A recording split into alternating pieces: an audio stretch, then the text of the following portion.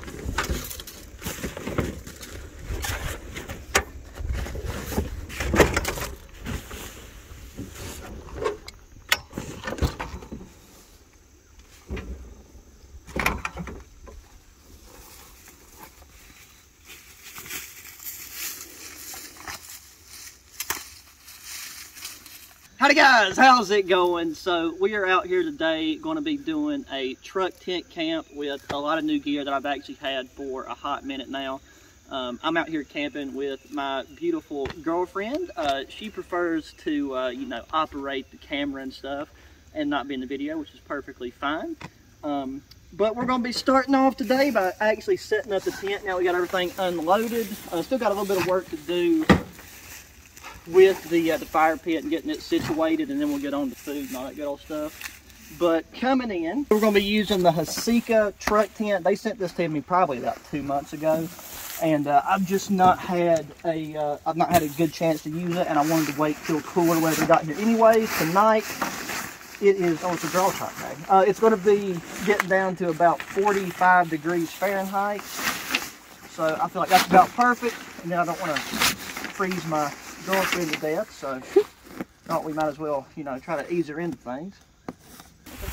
So rolling her out, as far as the actual specs uh, for this tent, I got what I think is their the standard version or the uh, the large version. I'd have to take and go back and look because um, I know that they make a short bed version, but I don't remember if they make one for an extremely, uh, not a, extremely, but an oversized bed.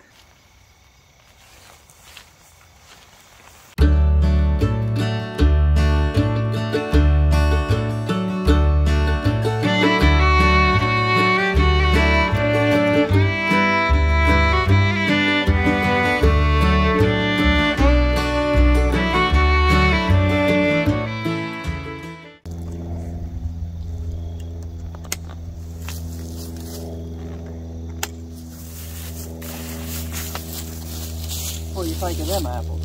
Looks good.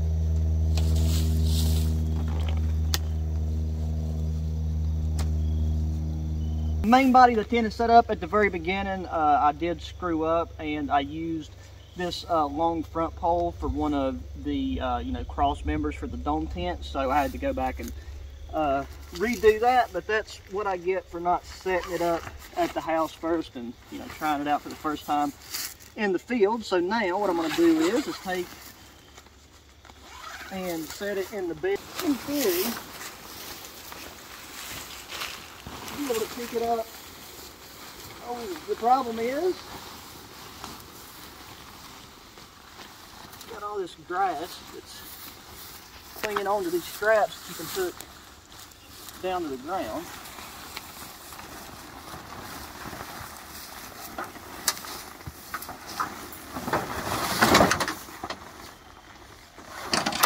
Aha! I don't think we lost anything. Or anything come undone, did it? No, let's go.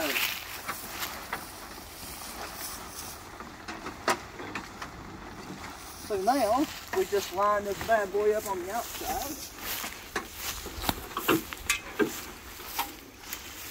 The corners. Already come in real quick. And then we take these hooks with a coated outside, and then you just find your nice nifty place, like in this case, just hooking it to the metal, well, Actually, that won't work. We'll hook it right there. And then we'll need to do all corners. And we'll go, we'll do the two back corners first because I think those are the most tedious. So we got our two back corners relatively adjusted to the same spot. And then we do the same with our front. I think we'll try that to see what happens. Hello. Okay, well, we had a product malfunction, so that's not good. I barely tugged on that and the stitching ripped out of this pull down strap. So that is something uh, that Hasika needs to uh, address for sure because that's not good. Not ideal at the very least. So the main thing though is, is we got this center one left. So I'm going to take it down to the safety chain hookups for the ball. And if anything, we can Since we ain't got that, I guess that's actually kind of what these two was more or less mentioned, uh, meant for anyways, but that one is a bust.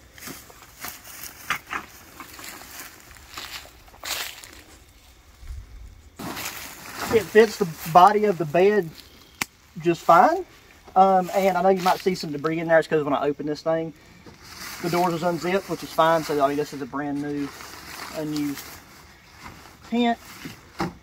All right, so now all that's left to do is get the rain fly on it, even though tonight we won't need it, but I want to take and do the full setup.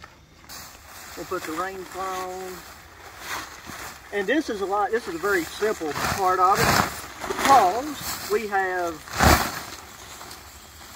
the awning part that indicates what the front of this is, or where the front of this is.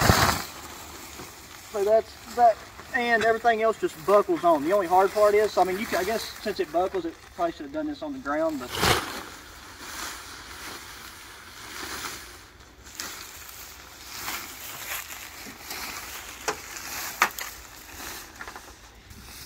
Bada bing, bada boom. Alrighty. So now all we have to do is clip these in on each corner. And as far as the uh, fine tuning adjusting. We'll do that once we get them all clipped on. This front flap, which you could take and stake down to the ground or, you know, do whatever you want to do with it, we're going to take and put it in its full awning. So you get these heavy duty, these are, they feel aluminum. They got to be aluminum because they're just light. Oh, wow, hello. Okay, well, you got to put them together. I thought they might have a type of extension part to them. So there is definitely two bottom pole design. Oh, okay, that is a very interesting pole design. I have never seen that before. So these right here, you take and you you push up on it. You push up on this by taking the pole and bending it so that there's, you know, pressure against it. And I mean, that's really not the most, because there's no there's no eyelet or anything for it to come through. So, I mean, this is going to have a lot of downward pressure, so it's, it's nothing like that. But if, like, anything was to jerk up on it, it could rip it out of the, uh, out of its hold. Okay, take these in.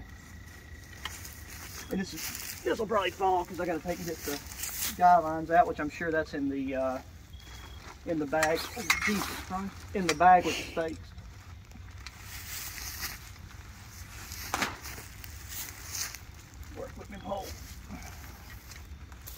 in this tall grass, you take and flip and drop something size of your arm and you lose it in two seconds. So there's actually four lines. So now we'll take and tie off to, actually it's got, a, it's got, they got loops, so we'll take and pull a stake out of the ground. Just your average run-of-the-mill aluminum stake. Get an idea on the ground where we want this. Right down.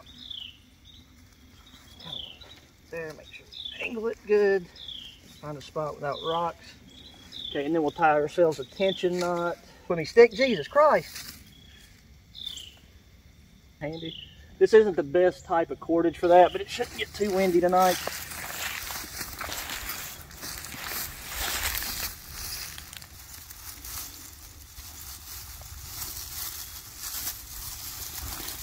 I don't even think I finished pushing that stake in the ground over there, but I can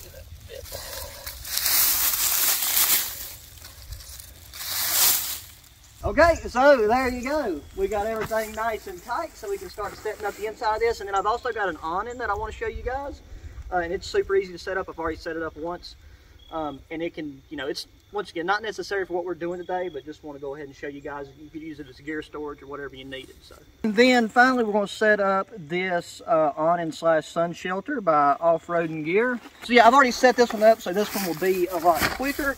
Uh, and I will say this thing held up phenomenal in uh, really strong winds. It was actually set up in the backyard during uh, Virginia's portion, my, like my southwest Virginia area um, of what we got from the Hurricane Ian or Ian, whichever one you choose to go with.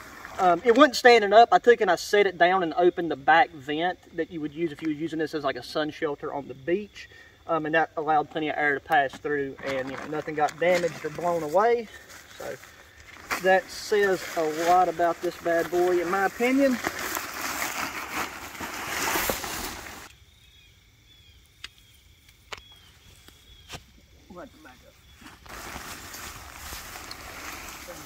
Okay, so you probably can't really see it now with the uh, since the flaps down, but this is the back side it has the vent on it, which will allow a nice cross breeze if you want it. But this one's really easy because there's no sleeve that you have to uh, to use. You just take and put your uh, pole into the nesting slot.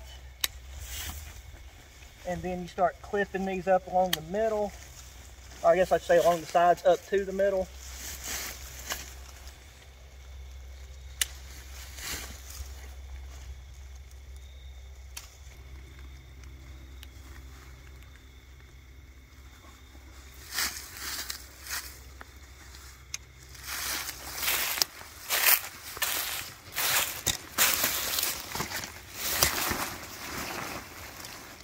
I used to have to stick these uh, these poles in sleeves that I just automatically start to walk back away with them.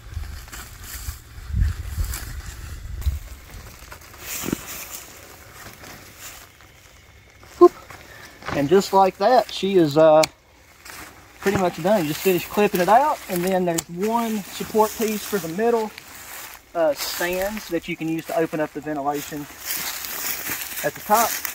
And once she's set up, it's easy to pick up and move because she's going over here.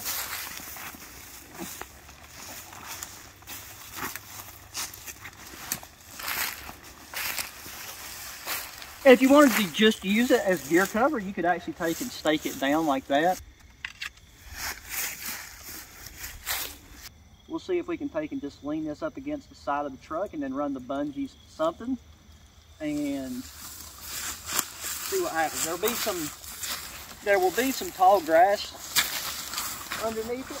Um, we really only need it to serve its one main purpose to cover some of this stuff to keep it from getting dewed on. And yeah, so these poles have a corkscrew top, so you just run it into the uh, plastic eyelet that you got right there and twist it in and then that right there will hold fine and dandy.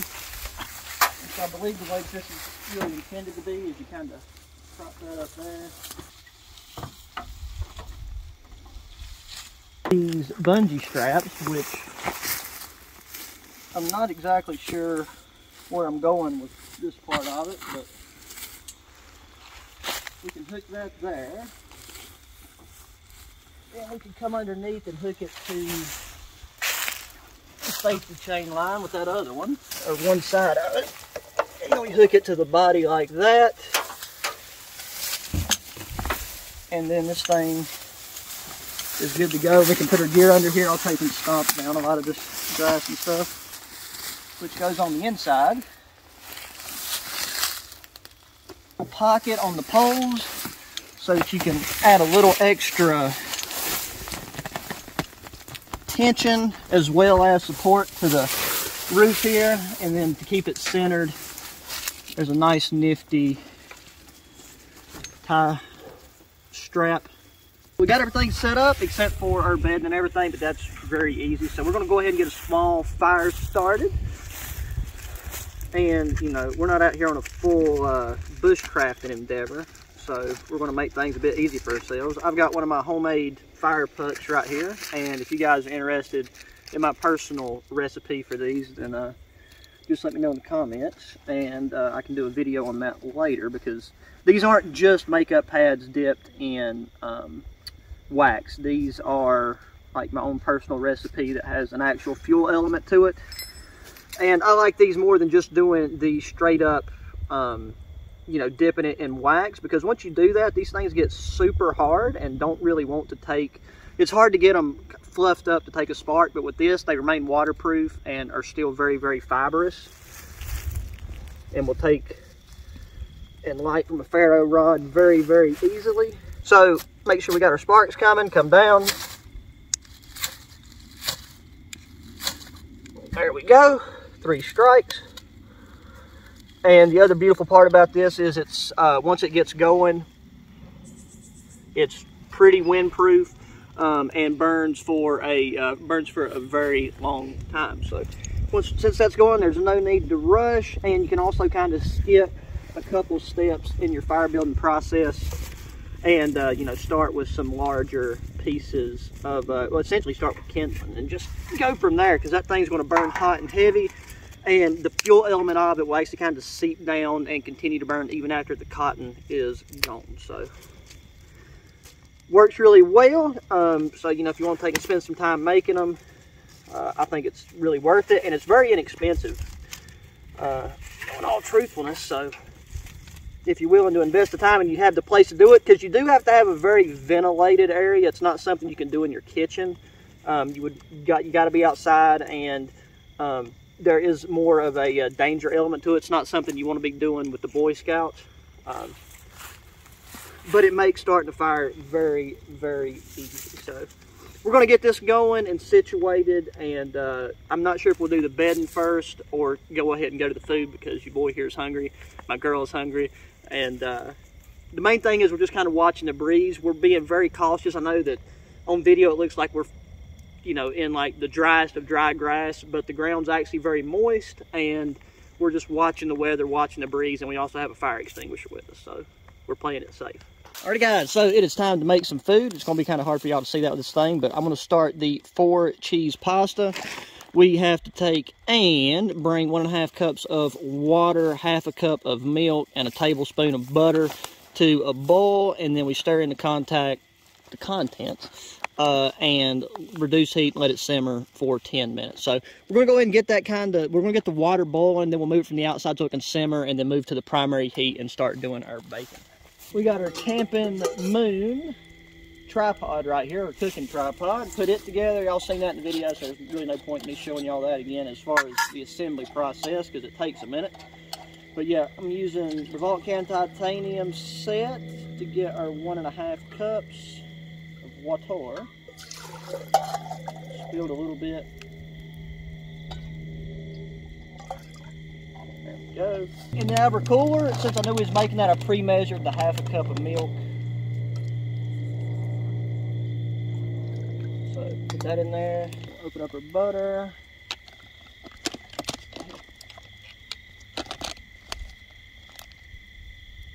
This is the Valtcan long titanium utensil set. Drop that in there, which I know you can't see what I'm cutting the butter, but it's all good. So, got that. Put the lid on. I don't know if this is going to be able to sit. Part of it's going to have to sit outside of the ring, I believe. This is just a ring that, or not, okay, it kind of fits perfectly, to be honest.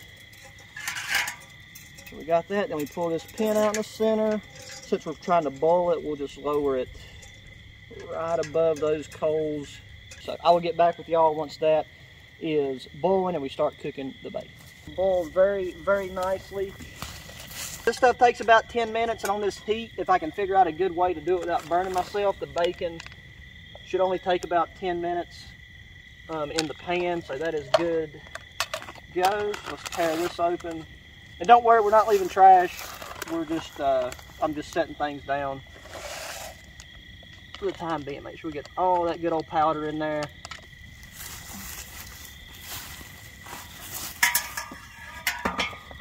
And we're going to set this off to the side because the heat from that right there will help that, uh, will make that simmer versus like boil. Um, and then that area right there is where I'm going to, that's going to be a little bit too hot. And we can use these pieces of wood right here as something to potentially rest our pan on. Not too sure how I'm to do this without burning the ever-living beans out of myself, but Next task at hand is to cut up the bacon and uh, I'm using for the first time this pocket knife that um, OER LA sent me. I, I can't pronounce the name very well, but I'll link. All this stuff will be linked in the description, non-affiliate links. Jesus Christ, bro. So far, that's what this side knife is. You know, check out my last video if you want to see it. Do my best just to take and see how many of these pieces of bacon I can fit into this Chinook folding skillet. And the top part of this lunchbox that I found is going to come in very handy for, for holding these extra accoutrements because I'm going to really try to lay these bad boys in. That piece is gone. so the Chinook folding skillet fits right at nine pieces of bacon. I think the perfect spot for it. I mean, they're already sizzling. These are supposed to be heat resistant handles, so I just want to keep a keep a watch on them.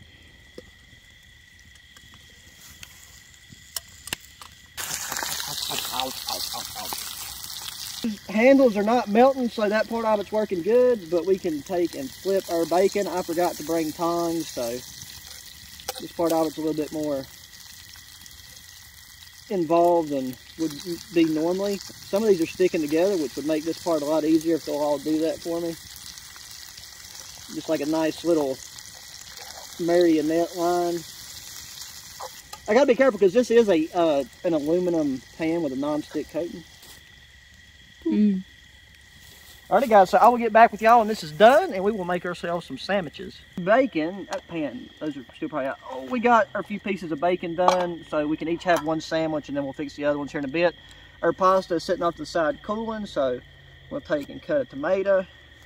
We're going to use this tray out of the top of this lunch box as our uh, condiment holder, essentially. I'm really digging this kniff here.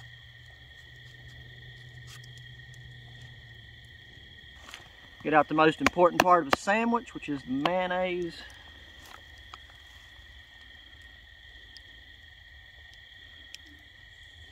Gotta go heavy on the white stuff. Well, hello. Geometry.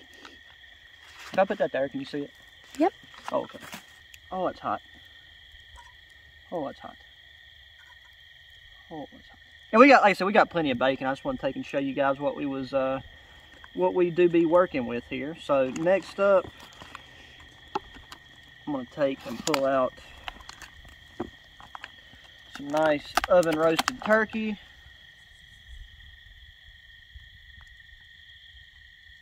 A nice fat tomato. Hello. Switch these two around and we got ourselves a nice BL and we got ourselves a nice BLT sandwich. We're gonna make some more of these. We'll eat our pasta, it's done. It's just four cheese pasta. Nothing, not rocket science. So next time we see y'all will be whenever we're making our bedding situation. And so I'll talk to you then. Alrighty guys, so everything is set up. That is the interior of this bad boy, just a big old bathtub floor. So I've got my two Ektos king size wool blankets right here in front of me. We're going to use one of these to line the floor of the tent. So we got ourselves a nice 100% wool uh, carpet effect going on. This bad boy should be more than enough to cover the entirety of the base of this. But definitely more than enough. And I'll straighten that out once I get up in there. Here we got our Hey Trip sleeping pad. So this thing right here is like two shoulder widths of mine apart, which would be more than enough for me and my girlfriend because we normally sleep on our sides anyways. So we'll take and roll that out and get it to self-inflating.